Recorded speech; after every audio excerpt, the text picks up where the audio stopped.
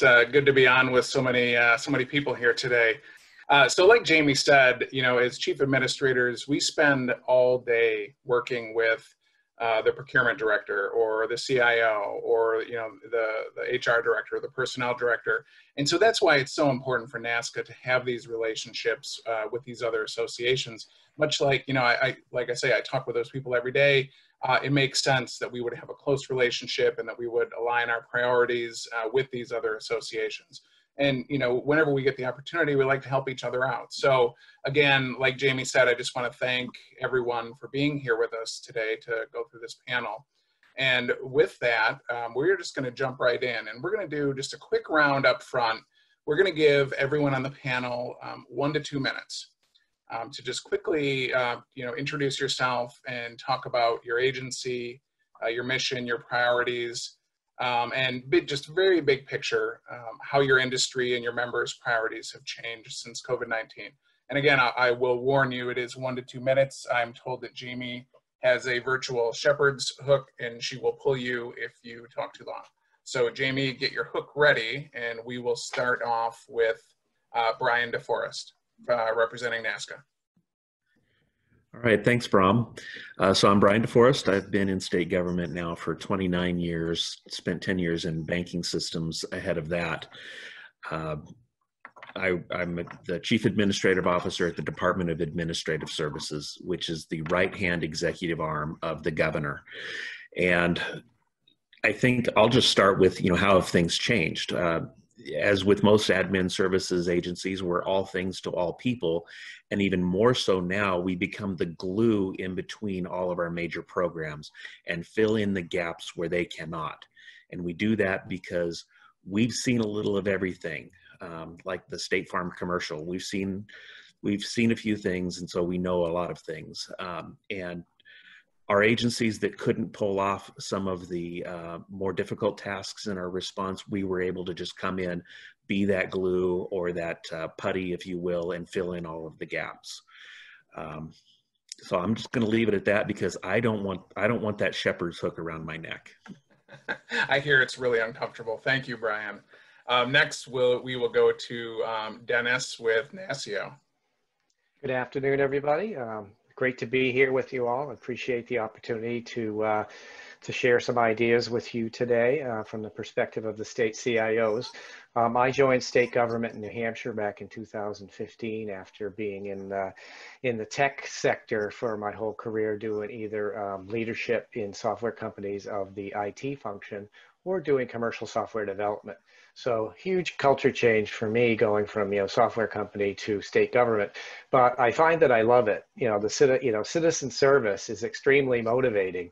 And that's a different kind of motivation than say stock options or uh, restricted shares, but really great. Uh, the, the, the biggest changes we've seen um, with the, you know, with the, the uh, uh COVID effects really have been uh, pace.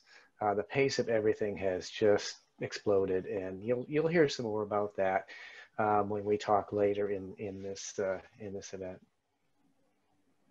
Okay, thank you, Dennis. Dennis, I heard you say that the uh, motivations are, are, different than stock options. You didn't say better or worse. You just said different, did I? Yeah, there's there, there's pluses and minuses, and uh, you know I did have to learn how to live on less money. I, will tell you that for sure. All right, thank you, Dennis. Um, next up, we will go to Franklin with NASPE. Hi, everyone. Uh, again, my name is Franklin Plaistow. I'm with the uh, state of Washington. Um, and uh, thank you, NASCA, for inviting us to join. Uh, we really value the relationship we have with NASCA. We work closely with Jamie and the team. I hope that statement softens the pull of the hook if I do quick crosswise with her. So uh, it's a little self. Um, anyway, um, uh, my role, just a little bit about my role, is um, we're responsible for kind of statewide HR policy, including in our state collective bargaining, um, civil service rules, and the classification and compensation structure. I think collectively uh, at our state, and of course at NASPE, what we can do to ensure that we have a highly qualified, diverse workforce that meets the emerging needs of our of government and citizens that we serve um, is really what we're all about. COVID, I, you know, I remember the phone call in, in Washington. We were kind of one of the first reported cases of a death around COVID-19. And I remember that phone call uh, late February on a Sunday saying, you know, the first death at Life Care Center in Kirkland happened. And um, nothing's quite been the same since then. Um, you know, and, and I think I'll never be the same, and I don't think many of us will be. Uh, it's been an incredible um, experience. I think that from this, we've learned how to work across our teams. Uh, many of the peers, peer groups that are on the panel with us, and that many of you on this call or on this meeting, um, we've had an opportunity to really learn to work more and more together, more efficiently, uh, bring innovation, um, and be uncom- be okay with being uncomfortable, being a little more in the uncertain has really pushed us in new ways. Um, and uh, really excited to talk with you a little bit about that and share more of my experiences and what we at NASPE are doing as well. So uh, thank you again for the opportunity. Yeah, great. Thank you. Thank you for being here. Uh, next, we will go over to George with NASPO.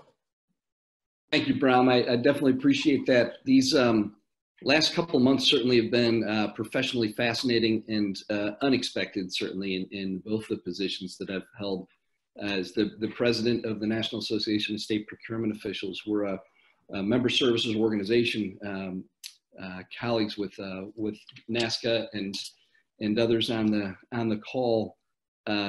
Uh, you know, expected this year certainly to have uh, quite a lot of face-to-face um, professional um, uh, development uh, that was going to going to take place this last year, and it has really been uh, instead uh, leading a, a weekly uh, call with uh, with state CPOs and contemporaneous uh, issues. Um, really been able to to build partnerships with the FBI and the Office of Federal Procurement Policy and, and others um, on contemporaneous issues. So it's been been very different than than expected. As the Chief Procurement Officer of the District of Columbia, I've been in that role for five years with uh, Mayor Muriel Bowser um, again, uh, very, very unexpected, uh, very unexpected times. Uh, from the, the first calls uh, at the end of February in the sustained operations that we've uh, been able to maintain, uh, working successfully with our emergency operators and with our health department to, to bring, um, you know, the, the goods and the services and the, the hospitals uh, that we services that we've needed to the district has been very different than uh, than I would have expected. Certainly. Okay, great. Thanks, George. And last but not least, we will go over to Hope with the state facilities administrators. Uh, good afternoon. Uh, thank you for in, including me and our organization in, in this uh, presentation. I'm, I've actually been a career employee with the Commonwealth of Massachusetts for 30 over 35 years, and uh, uh, it's always been changing, but this has been a huge change. Um, my agency is within the cabinet structure of the chief administrators. Um, what we do is major capital construction. We do real estate acquisitions and dispositions, and we also manage and maintain uh, many of the central state uh, agency office buildings. And um, I would say that uh, some of the biggest changes that we've seen uh, is how do we use our office building? How do we use our spaces? You know, um, people thought they'd be this would be a, a, somewhat of a shorter duration. We'd go back to normal, whatever normal was, and now we are really just peeling back the the onion or pulling this, the curtains back on the state and saying, wow, there's a whole lot of different ways to conduct business now in the state. And so we are constantly, we've been touching base, of course, interacting with HR and technology and, you know, all the different aspects of how we touch people in our buildings. And uh, I'd say the, the biggest change is thinking that, um, well, actually, you can empty a building out and do a renovation project, and you're not going to necessarily lose productivity because, uh, in fact, you might be able to get your project done a little faster, and you can still get your work done, which has been a bit of a, a surprise, but uh, one positive outcome in a in a sea of un, un, unhappy events. Okay, thank you, Hope. Yeah, we're finding in Michigan that our uh, our in you know construction projects within buildings are going really fast now because you don't need swing space anymore. It's really nice, right? All right. Well, thank you all for introducing yourselves. I'm glad we didn't have to get the shepherd's hook out. I guess uh, Jamie can save that for my 30 minute monologue uh, that we'll do at the end of this session. Um, but we are going to go into one more, just a little bit of warm up with our panel here before we get into some more in-depth questions. Um, we're going to do a speed round. And so we're going to ask you each a different question and ask you to answer it uh, in one sentence. And you get bonus points if you can actually answer it with just one word, but we'll give you a sentence. So I'm going to start with Franklin. And you know, all of these, all of these questions are over the last few months, whatever. So Franklin, we're going to start with you. Over the last few months, the best value your agencies, and so those are HR agencies across the country, offered to others was? You put me at one word. Um, no, uh, humanity. And, and I guess what I mean by that is uh, that I think that we've held space for a human experience and a human impact perspective of these incredibly difficult situations we have, whether it is the COVID 19 response, the larger social justice conversation. How do we bring these incredibly impactful things that are touching our lives at home, at work, and how we can think about how we can support our employees and leverage resources across other areas? Not close to one word. Sorry. I started with one word, but I had to explain it, so yeah. that didn't work. we'll, we'll take it. Thank you. All right. All right, Dennis, you're up next. Uh, over the last few months, the governor's phone rang most often because? Because citizens, businesses, and the press have an insatiable desire for information and direction as it relates to the COVID 19 crisis. Yeah, agree. Okay, great. Um, Hope, over the last few months, the biggest conflicts or competing interests were? Uh, masks, and I would say um, the dynamic between uh, trying to be efficient with energy and having appropriate ventilation in our buildings. Yeah, okay, thanks. Um, next, over to George. Over the last few months, your best friends were? Uh, Bram, I think you're asking me the, the trick question because procurement officials are not supposed to have friends, right? just, kidding, just kidding, just kidding. Uh, you know, the fire chief and our health professionals that were the experts in PPE that were some of the first phone calls that we made to really understand what we needed to get into. Uh, those are the friends. Good, good answer. Thank you. All right, Brian, uh, over the last few months, I had to keep the governor informed on. I had to keep the governor informed on a lot of bad news, uh, a lot of mistakes that were made, and how we could turn all of those lemons into lemonade and give her some positive outcomes from government that she could share at a very personal and local level. Yeah, great answer. You know, that's what we find is what you know, we're finding that with our staff in Michigan as well. They just they really want that personal interaction. You know, we do. I do. Um, you know, every other week live videos where I just go on with all of the employees, and they don't like it when it's scripted. They like it when we just get on and we really have that personal interaction with people. Yeah. yeah. Every corner of the state wanted to know that they were heard, and as long as we could give that anecdotal information, uh, it just built credibility with government. Yeah. Okay. Great. All right. Well, there we go. The speed round is over, and we are going to dig into some uh, more meaty questions here. Um, because we have a limited time and we do have a number of great panelists here, um, we're not going to ask every single person to answer each question. Um, we have identified a couple folks uh, to, let's say, direct the questions to, but obviously other panelists, if you, you know, if you have a thought, you know, please jump in. Um, so we're going to start out with this first question, and we'll ask um, Brian and Franklin uh, to both weigh in on this. And uh, maybe we'll, we'll let Brian go first since he's already up on the screen here. Um, so most of the, you know, those of us on the call, um, we represent the critical administrative and operational functions. Um, how have your operational agencies collaborated, coordinated, you know, recently, and have any of those relationships become more strategic as a result of the last few months? Yeah, uh, we're we're somewhat unique in Oregon. Well, I guess we're maybe we're not unique where we we keep the program agencies, you know, kind of at an arm's distance from the administrative agency. Uh, and let them set policy, operate their programs and whatnot. Uh, but what we found is as direction came into those program agencies, operationalizing the governor's instructions became kind of tricky. And uh, as soon as we got into a cadence where the program agency picked up the phone and called DAS and said, Here's my assignment, how can you help?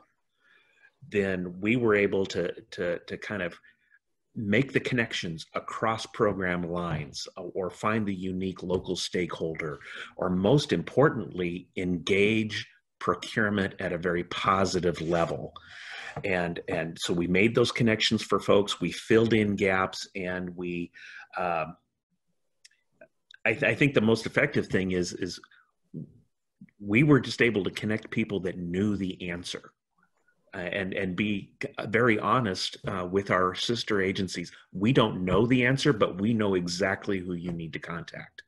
And uh, what we found is uh, operationalizing instructions moved from you know seven to 14 days down to seven to 14 or 24 hours. And uh, we also uh, encouraged people to move forward. As soon as you have 80% of the solution move forward and get it moving and then adjust as you go as you implement. So that that's that's kind of what it's been in my experience. Yeah that's great. Um, franklin do you have some thoughts on this thank you and, and i think brian and i are in similar roles it sounds like that um, maybe it's about being out in the west i don't know but there's definitely a decentralized federated environment we have so in my hr role specifically for washington HR directors also reside at state agency levels. So I don't have that kind of, you know, direct line. It's more a matter of influence and collaboration within the HR community to start with. And certainly as we move out further to our partners and for instance, uh, Director Liu, uh, Chris Liu, who is uh, with DES, Department of Enterprise Services in Washington, um, you know, he has part of our HR functions in terms of some of the operational service sides for the recruitment system and training. Um, and uh, certainly our partnership on the procurement side uh, was important as we navigated the, um, the past few months. I think that there's a dynamic that we were all responding to a public health crisis that we as a leadership kind of group across all of these different lines of work um, had a commitment to following the science, doing the best we could to keep people safe, um, to model the right behavior as how we should act as an employer, as an organization, to be thoughtful in how to respond and navigate uh, the health crisis we had, um, and now even the budget situations we have going forward. Uh, I think certainly COVID provided this moment where we could all work together towards a very common goal that if you try to think about collaboration and think about how you can work together more effectively, it can get theoretical fast and people can kind of get a little less reality based. I think this crisis, this moment, called for us to reckon with a reality we had in front of us and work together in ways that we hadn't before. Um, and I just really am excited about how we can seize that and go forward as we move into very difficult conversations going forward around our budget, structure of government, continuation of services, that we continue to have these incredibly strong relationships that were in place before, but we moved out of kind of that transactional role to really like this is a problem no one could have imagined over hundreds of tabletops exercises. Um, how do we do this together? And I think it really invited us to be more strategic and also to be wrong sometimes um, and be okay with that because we had, um, I think, as Brian has said, 80% is probably as good as you're going to get sometimes um, of certainty. Um, and so, in some ways, it invited maybe a little more vulnerability. It invited a little more kind of just openness that I think um, I think really has actually put us in positions where there's more trust. Certainly, there's times that we have, um, you know, uh, conflict's a strong word, but you know, challenges of navigating things. But I think fundamentally, we have this momentum that I'm excited about how we can proceed because we're not out of the woods on the health issues. We're certainly not out of the woods on how we as an organization respond to larger social conversations and we have our work cut out for us on the budget ahead of us and some really tough decisions. And so I'm really excited about those relationships, whether it's with facilities, procurement, um, or our budget uh, partners, which I think are an important part of kind of the overarching policy when it comes to this, um, are, you know, just to name a few, are I think so important to um, really build. And I'm really grateful for the relationships we had before, but just how much they've expanded since then. Yeah, that's great. I suspect a lot of us have shared that that same kind of experience. You know, we we, we joke as as you know central service agencies. A lot of us are control agencies. We're the ones that right. have to tell other people no, right? And so you know, a lot of the time we joke about you have to have thick skin to do this. But what I've seen, at least my experience is, we we're appreciated a lot more over the last six months than than Yeah. we are usually. You know, a lot of other agencies where we had a partnership, but all of a sudden they realize, oh wow, you're actually you're doing this for us. You know, you're carrying ninety percent of the water on this issue, and yeah, so And it's we nice care.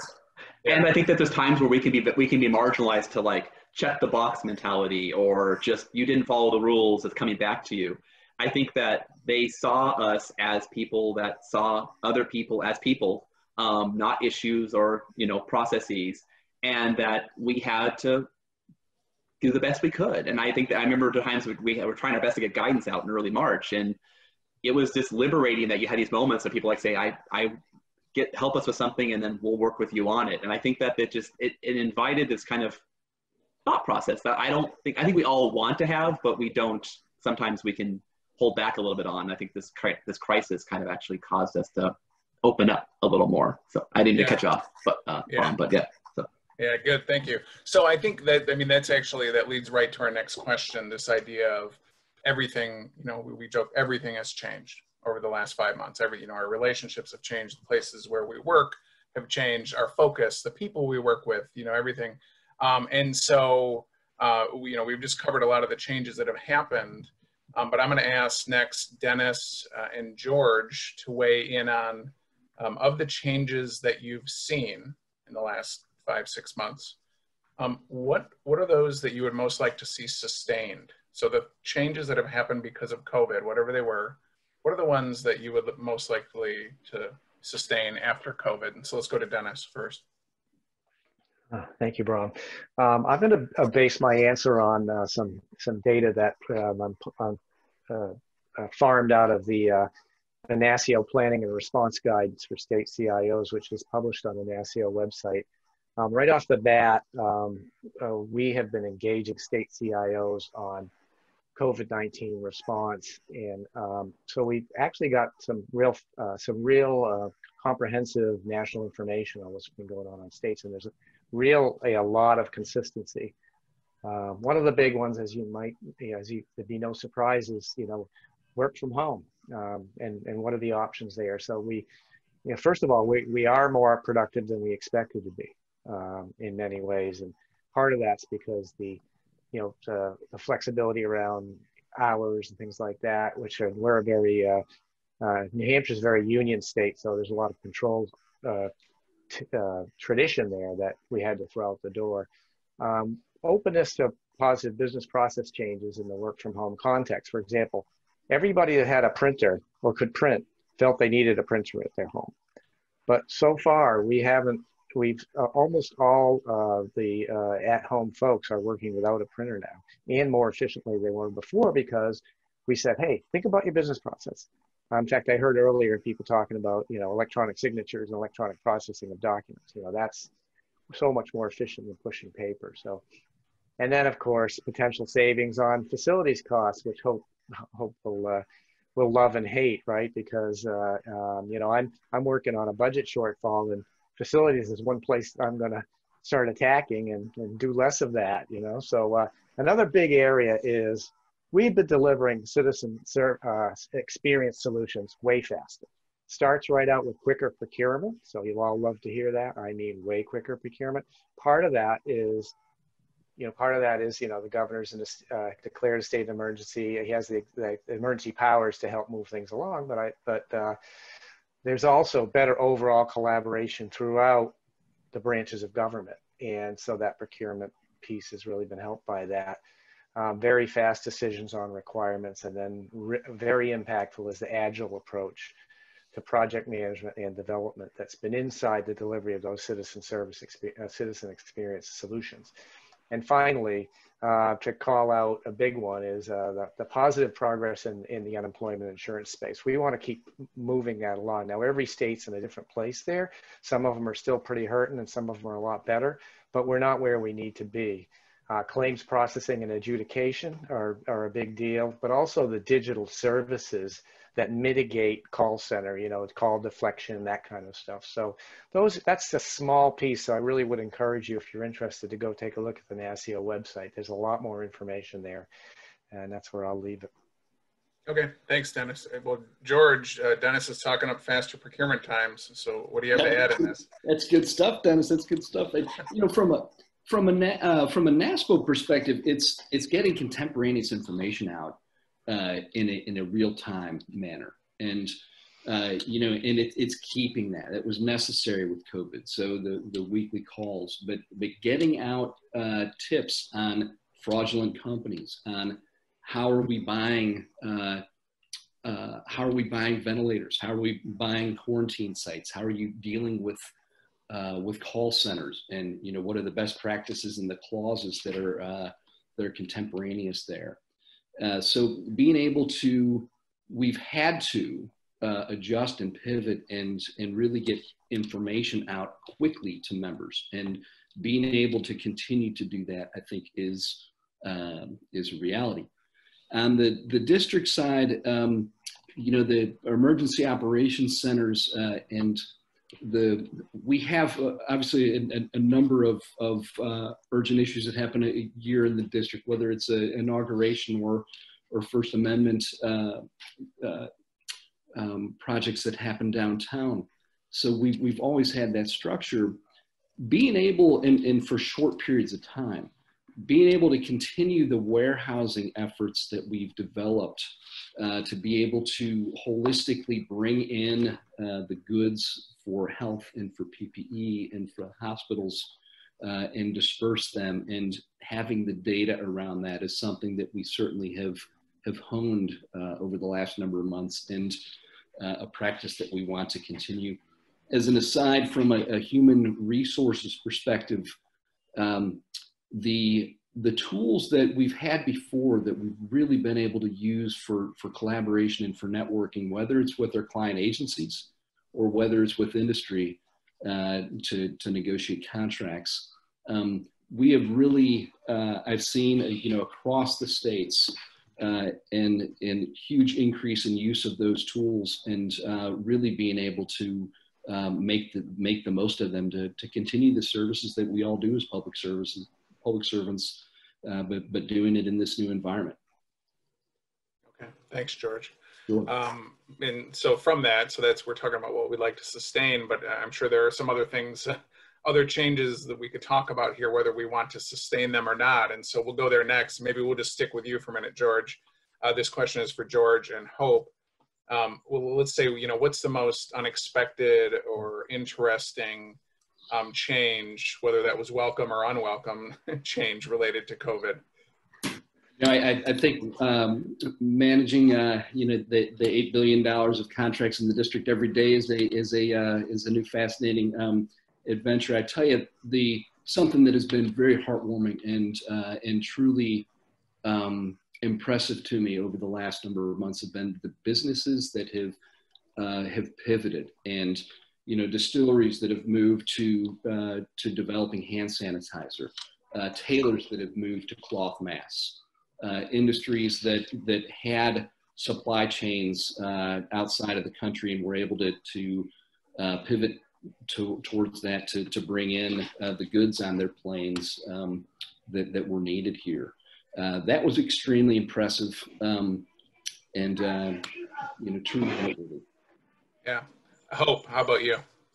Well, I think, you know, the, the, one of the most welcome things is just all the collaboration that's just been encouraged and really uh, everyone's sort of been all in on, both um, with NASFA, with all the different states that would get together and talk in roundtable formats, or just anytime there was an opportunity to kind of share ideas and um, learning a lot about how all the states were managing uh, you know, sometimes we'd be on calls and some people were home, some people had already gone back to the office, and then couple months later it flip flopped and was the other way uh, with different people. So it was really good to sort of learn really real time what was going on in all the different states and ways of handling things.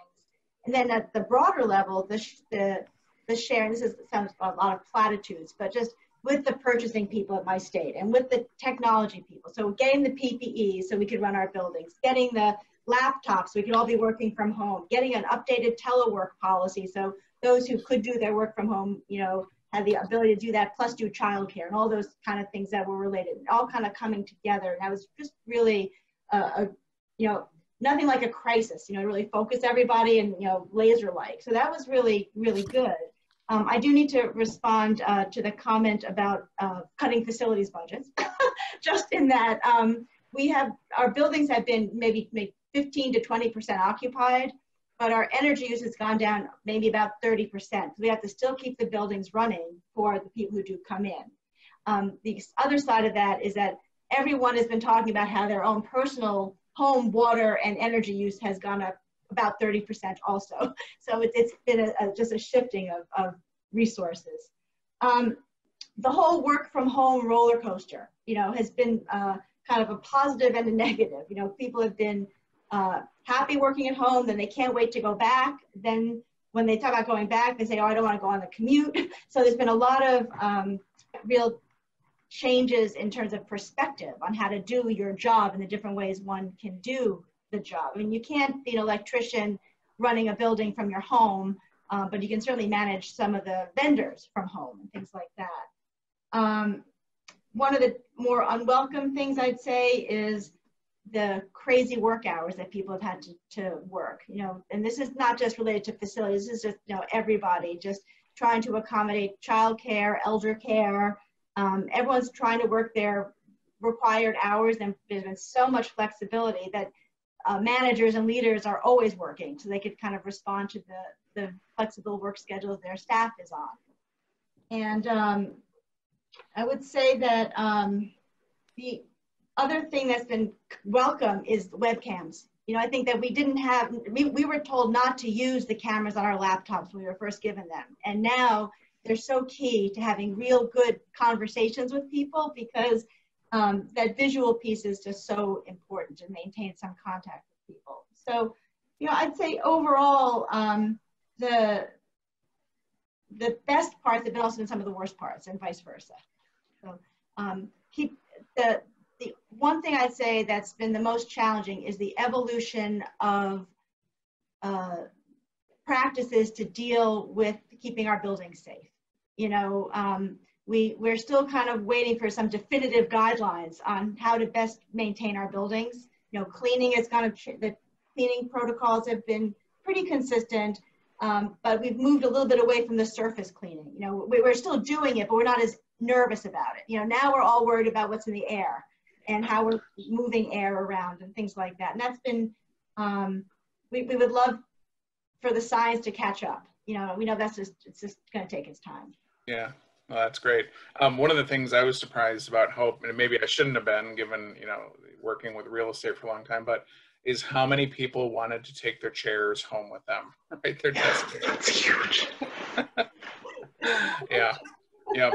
yep. We let them. We let them if they wanted yep. to. All right, uh, moving on. Uh, Franklin, uh, let's talk a little bit about managing in this environment. So I know that NASPE has some um, really interesting research um, in this space, and you know we know that one of the biggest challenges in managing is that kind of like middle management. How do you how do you manage a, a highly mobile or remote workforce? You know, how do you keep everyone engaged? Um, what do you have any uh, any ideas, any tips you can share with us here? Sure. No, I think that, uh, and, and, this has been a topic that uh, has been really a recurring theme amongst uh, NASPE members for quite some time about how do we step into this mobile work uh, environment in a, a thoughtful way. Um, I think public sector always has a challenging dynamic in that we could have competitors, whether it's IT or elsewhere. Um, certainly here in the Pacific Northwest, we have quite a few, um, you know, large employers that have historically been really flexible on work arrangements, while um, I think understanding public sector always has that dynamic of um, uh, accountability, public perception, and try how can we meet some of the flexibility that our that our employees are looking for and new employees to the market are looking for more and more in terms of expectations around flexibility from their employer. And certainly NASPE has, you know, talked quite a bit about, I think the challenge that we see in the middle of our organization sometimes is that our middle managers are always, and I hope NICE spoke to some of this even in the more recent era, but the dynamic of often we look to our middle managers, or, and I don't mean that in a pejorative way, but the people in the middle of our organization to be the executor, the change management, the leaders on kind of what we're doing to execute strategic vision and the next stage in terms of improvement in our organizations and also managing day-to-day tasks in many cases actually working alongside frontline employees. Um, and so it's a tough situation to then and we've seen this over the years to then say do all of that kind of be torn between these two lives and then also deal with everyone not being in the office. And you know understandably culturally some you know we, we are accustomed to managing by seeing. So being comfortable not seeing people is something we've had seen challenges on. We um, we have in many of our member states and including Washington have looked at how we can do trainings to help with tools to um, uh, keep engagement. Um, and I think it was going okay, uh, but then of course the past few months happened and then we just, everyone got home. It was like, get them home, get them safe. And in some ways that was like, it was this moment that I think we now have this revitalization of this can be done. Um, I think that um, a huge shout out to I think IT across I think every member state on the calls that we have, we have regular calls, have talked about how great their IT shops have been to get IT resources out to staff as best as they can, and um, I think that that's uh, really been a, a great step in the right direction. But I think we uh, hope nicely captured a challenge we have of how do we help our supervisors and managers um, stay engaged with employees as they're kind of dispersed and even working different schedules as well. Um, we have really uh, developed, in Washington, we built, we developed more and more guidelines to kind of help our managers be more okay with the flexibility, to give them kind of the authorization to, um, uh, again, I think provide some flexibility, uh, step into a little more of kind of some of the uncertainty, um, not letting performance expectations fall by the wayside, but being a bit more flexible in how things get done. Um, so I think really reinforcing that it's not every little detail of how it's done, but the fact that it gets done um, is something that I think we really tried to, to work with. Um, you know, I, I, never thought I would say in my life that we were talking about telework as a health imperative. Um, you know, we talked about it as, in many states, talked about how valuable it was for being competitive as an employer, um, for getting access to more diverse applicant pools if your area of employment is not, and of course, diverse communities. Um, but I never thought I would be saying to, it's a matter of life and death that you get your employees home to work remotely. And that's what we were doing in March. We were talking about how, you know, this was a matter of getting people home and keeping them safe, minimizing how many people were out so that the people who had to be out were out, um, but not exposed to additional uh, risk of community spread.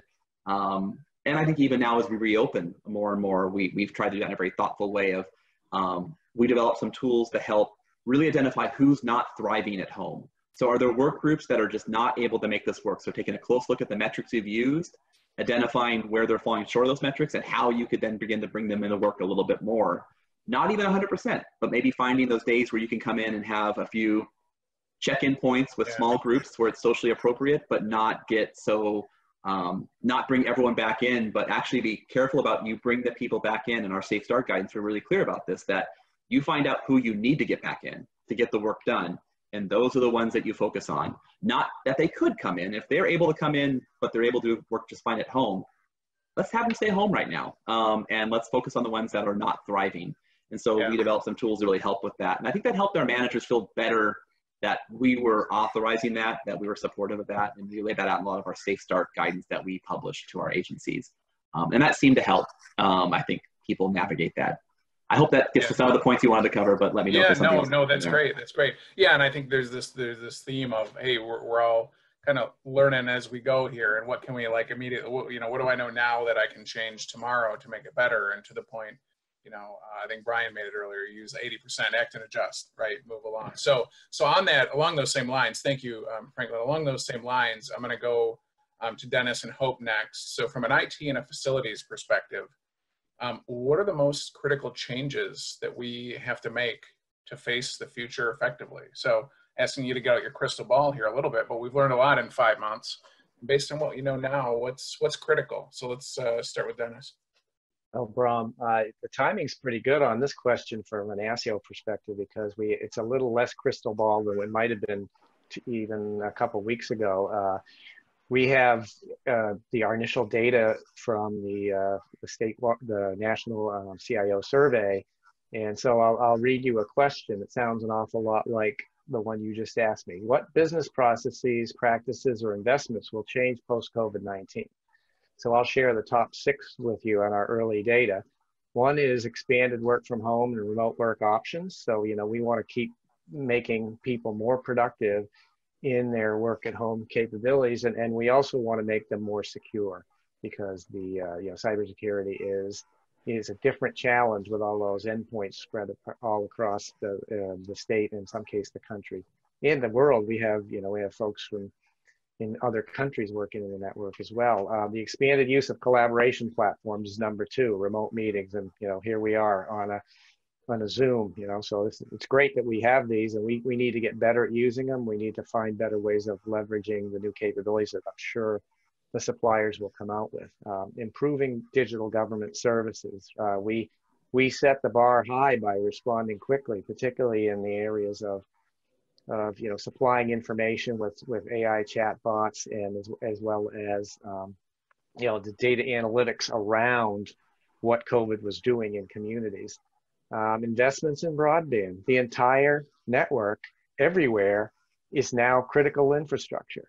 You know, my I w- I don't think I would have considered my Comcast connection critical before, but now it kind of is. I can't, you know, it's part of how I work. Um, so uh, increased number five, increase priority and investment in legacy modernization. And that's very heavily focused on the unemployment insurance area because some states, even though there was a problem back in 2008 to 7, 8, 9, when we had our economic downturn, um, the departments of labor or those entities that were responsible for unemployment didn't all get you know, get religion on scaling and, and, and modernizing, and that's caused states a lot of problems. So we, you know, we need to keep working on that. And then uh, number six is expanding cloud services. Uh, to the extent that um, states had cloud service options, um, it made it made it easier for them to move people out. Um, you know, it, for example, if you had most states had uh, not enough VPN capacity, to, to support all of their, um, I see a, a, Hope nodding her head there. And I, I know that I, there's not a state that had as much VPN as they needed, but if they had cloud services already in place, um, they didn't need VPN uh, for a lot of the things they had to do. They might have needed it for some of them, but not all of them. So they're, you know, those are just the top six. You'll that yeah. that will be published um, soon, so you'll be able to see, and, and it's a valuable tool for not only CIOs but public policy folks to know what's going on in technology. So, yeah, thank you. All right, Hope. How about you? What, what are the changes needed from a facilities perspective? For us is thinking about how we use our state buildings. You know, I think that the fact is we probably will not ever go back to full like that that dense dense occupancy we had before. We but there will still be a need for a place for people to go into an office on occasion and that you might be able to do more of the hoteling and more sharing of spaces and having a little bit less density, but maybe being able to get out some of our state leases and things like that to sort of bring more, um, more of our functions into more of a central location and just how to really re or restructure the building and how the building can provide space for important government services and whether they be public facing or back office and things like that. So I think it's the, it's really modernizing the workforce and planning for a, a different kind of uh, delivery of physical space for people to uh, do their jobs uh, from where they can do their jobs. Um, and I'll just say the other thing is I think there still is going to be a need for personal contact along the way. You know, I think the Zoom is great. I think you know, the webcam is great but it's not the same. I think that what what uh, NASFA done with, with the learning series is awesome, and we you know NASFA had to cancel its conference this year. We've tried to make up for with other approaches. Um, we have great connections. People really are learning from one another. It's not the same. so um, just think that we have to still, hopefully we can plan for a future where there are chances for people to really be in a room together. Yeah. Okay. Great. And I, I know that we're we're at time here. I just want to just throw out just one last question. Not everyone has to jump in, but um, anything over the last few months, um, uh, like where you did something and you wished you would have done it differently. And I, we could probably need to keep these to like one one sentence answers. But anybody want to weigh in weigh in on that? So Bram, one thing that I wish I had done differently is make emotional investments it, with my staff earlier rather than later. Um, but I can turn it around to a positive. As, as we made those emotional investments in my subordinate managers, but also my peers, I think we've got some very positives uh, that have come out of it. And I'll drop a few names, and, and these folks will know those names. Uh, Shannon Ryan and Jeremy Miller uh, guided our facilities and spun up a PPE warehouse in seven days. It went from dark to completely lit uh, in seven days, and that includes the work that Terrence and JB did on the, the CIO side um, and, and, working with each other. If there had not been built-in trust, then, then nothing positive could have happened. Or with Debbie Dennis, my CPO, who is now one of the biggest rock stars in Oregon and is called on directly by the governor's office and many of the state agencies uh, because she is a problem solver.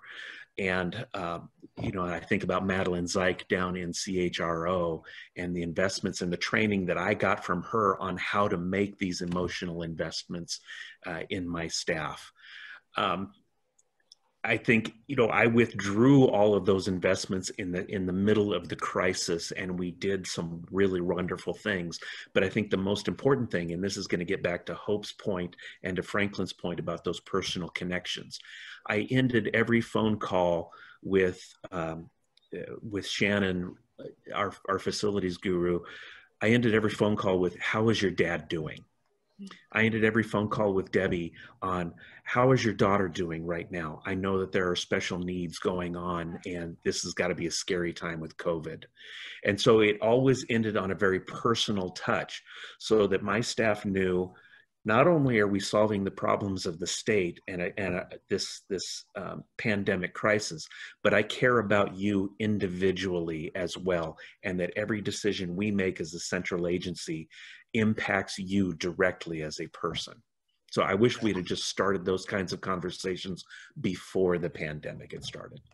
Yeah, no, that's great. Well, so I'm, I'm just going to apologize to the rest of the panelists. I think, you know, I'm already a couple minutes over here and I don't want that uh, shepherd's hook around my neck, at least not while everyone's watching. Um, so I just want to say uh, thank you to everyone on the panel today. Um, those were great updates, great insights. And again, you know, the, the relationship between NASCA and our, our sister associations is so important.